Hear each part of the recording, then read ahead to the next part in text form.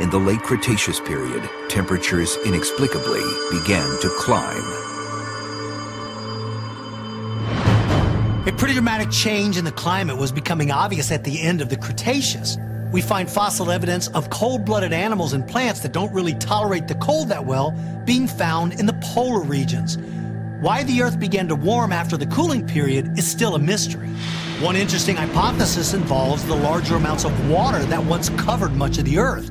Rather than absorb the heat, they may have radiated it back into the atmosphere and caused a greenhouse effect.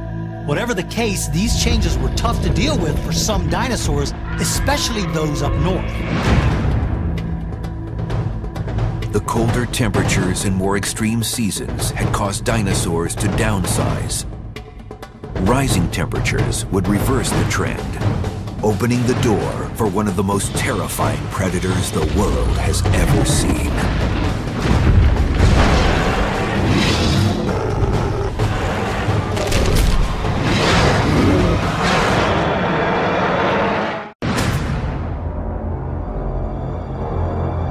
As temperatures rose in the late Cretaceous period, lush foliage grew, supporting larger and larger herbivores.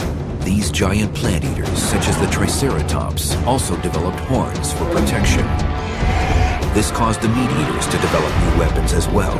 The result was a predator whose name instills fear even today.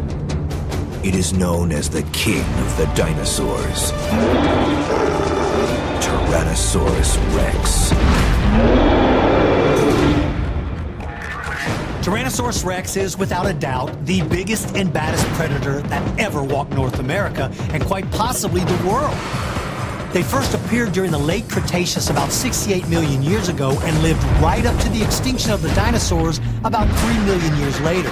Their range included Montana, Wyoming, Colorado, New Mexico, South Dakota, and Canada, and even as far south as Texas.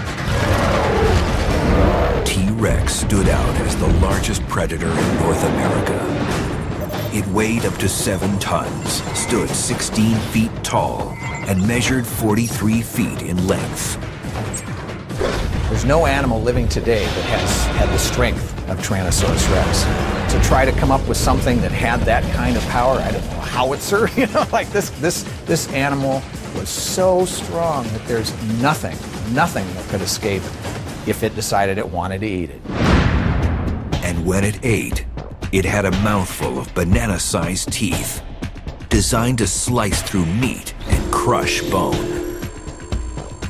Its teeth are gigantic. They are thick from side to side. They're not cutting teeth by any means. These are pulverizing teeth.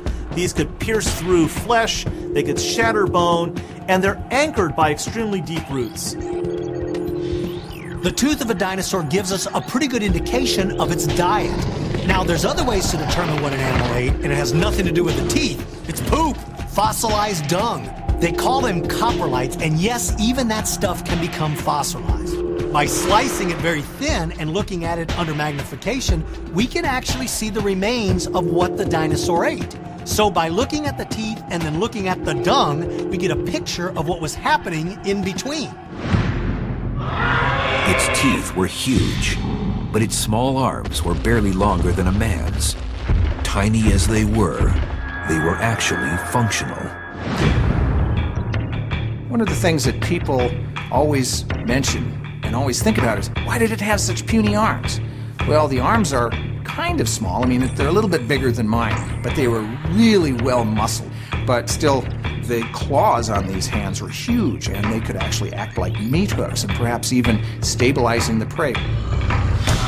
Along with its enormous size, one feature set T. rex apart from all other meat eaters true binocular vision.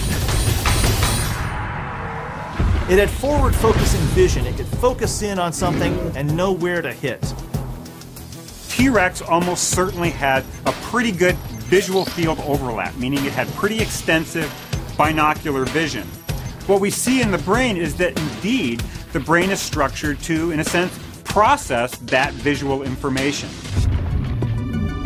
Much of the T Rex's brain power went to his vision. In terms of intelligence, it probably wasn't quite as smart as a house cat.